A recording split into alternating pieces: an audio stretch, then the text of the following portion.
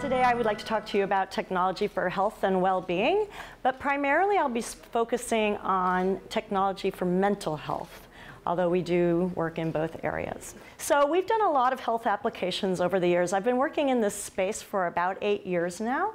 Um, we actually started looking at depression and stress um, we targeted stress primarily because when you start reading the stress literature and you learn how bad stress is for you, it makes you super stressed out. so I remember the first summer I started reading that literature, my heart was palpitating all summer because you know it leads to obesity, it leads to um, heart disease, it, you gain weight in your stomach, you have shoulder issues, back issues, all these bad things happen. So I thought it was a pretty important thing to focus on. Um, and a lot of people understand that stress causes problems, but they don't actually know how to manage it. So everyone has stress in their lives, but most of us um, don't have the healthy ways of coping with stress. We haven't learned them because we really didn't need to as we were growing up. Um, so a lot of people, and they know they should exercise. Um, maybe they do yoga. Maybe you drink alcohol to relieve stress or smoke cigarettes. Um, but there are actually really easy interventions is what we call them, or skills or practices to relieve stress that most of us just haven't learned. So we set out to try to teach people what those are. Now, we started in kind of a funny way. We started externalizing your stress. So we designed a lot of things that you can see here from wearables like um, a vest that has hackles that when you get stressed, it gets really sharp in the back.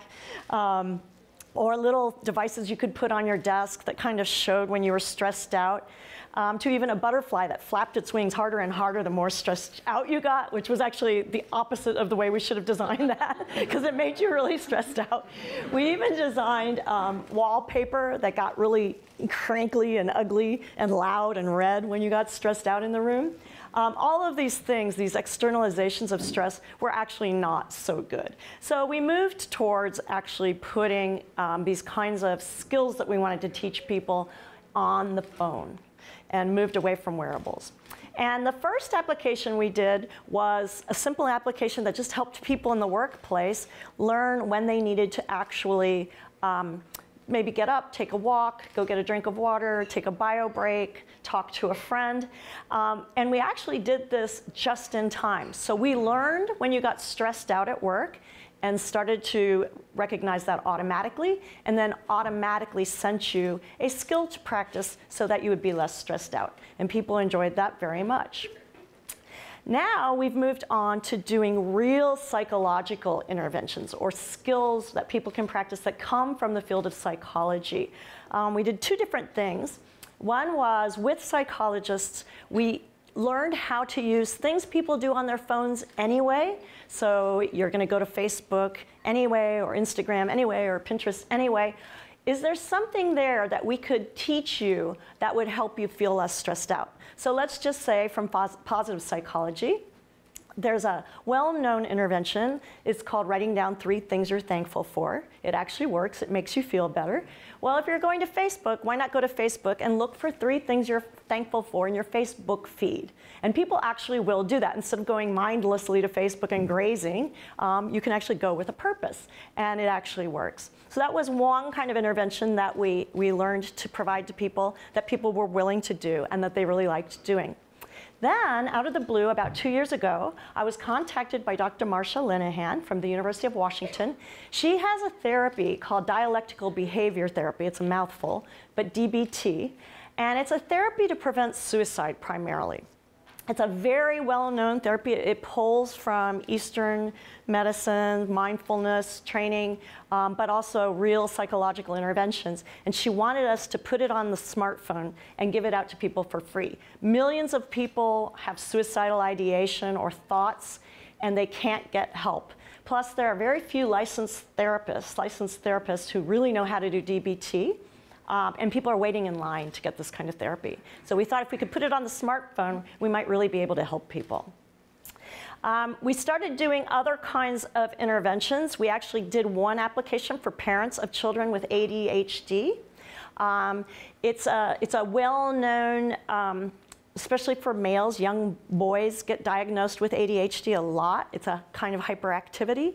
Um, and what we did was we had parents wear bracelets, and when we sensed arousal in the parent's bracelet, um, we would send an intervention to the phone and to a display on the wall in the house. And this taught parents things that they had been told by their therapist that they should be doing to model good behavior for their children, but in the heat of the moment when the child's having a meltdown, they forget. So just by using a simple sensor and the phone, we were able to teach parents um, good behaviors to model for their children.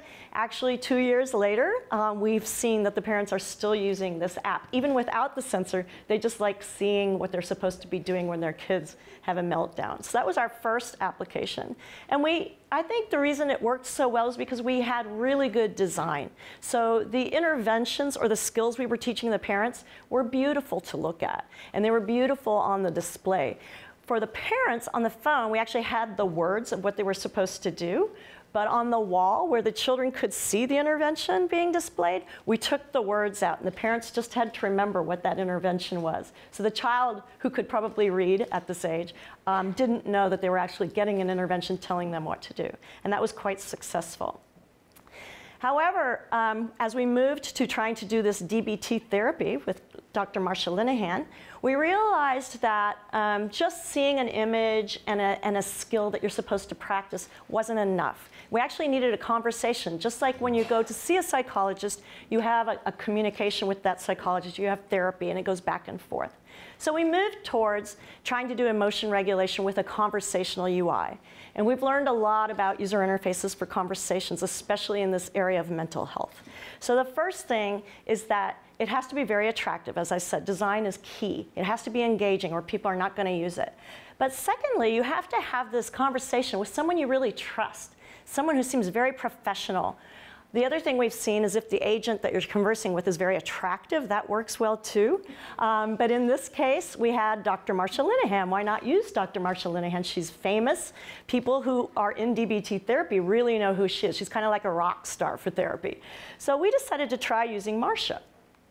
So dialectical behavior therapy really is just a way of learning skills that help you cope when you're feeling super stressed out or when you think you might just want to end it all, right?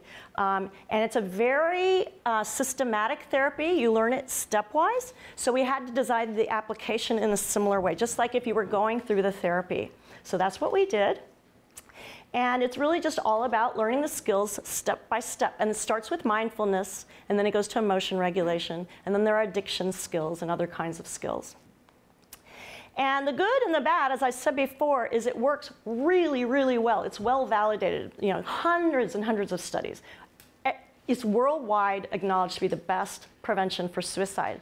However, as I said, it's expensive, so those that can't afford it can't get access to it. There are too few licensed therapists to, to, to work with.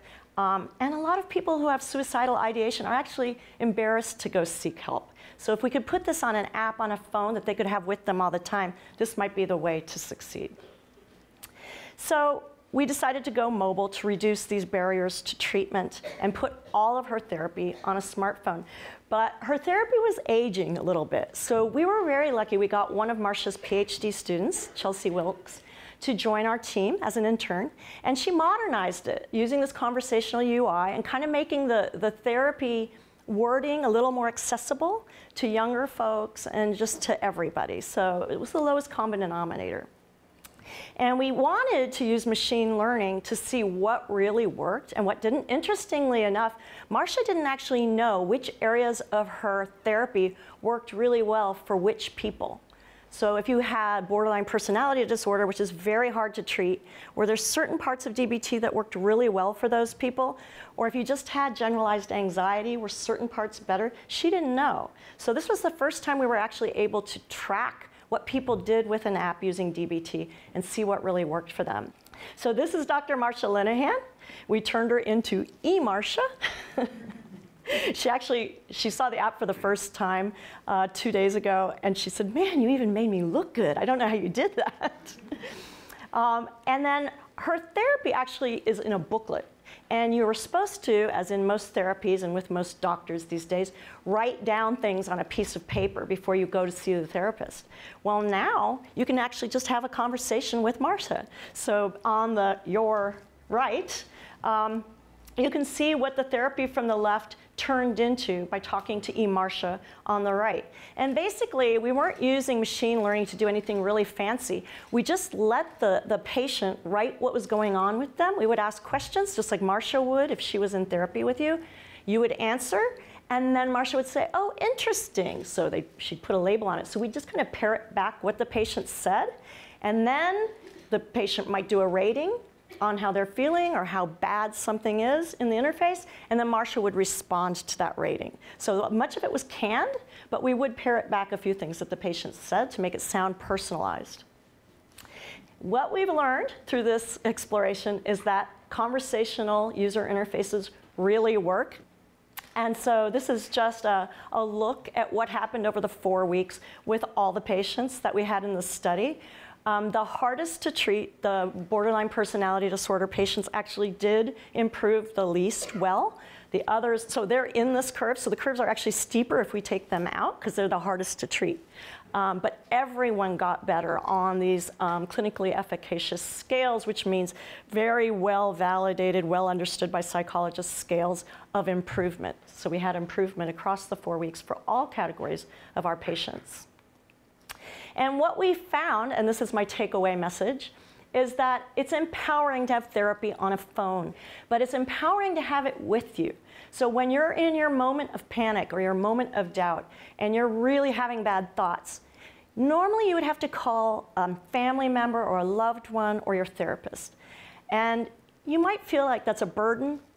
If you can just pull therapy out of your pocket, go to the skill that you really want to use in that moment of need, and see that it actually helped and it worked and you feel better, you gain self efficacy and you feel powerful and stronger. And you believe in this phone app and you want to use it again. And that's what happened with our with our patients in our study. So instead of having to go to their therapist they were able to use pocket skills which is what we call it and it worked.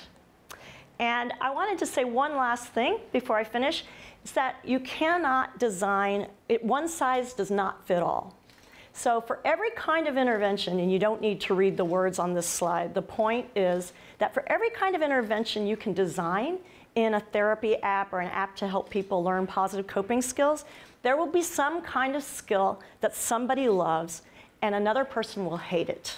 Some people love playing games that help them feel better and get less stressed. Other people hate playing games. You need to use machine learning to hone in and personalize the kind of skills that that person needs to learn in their time of need.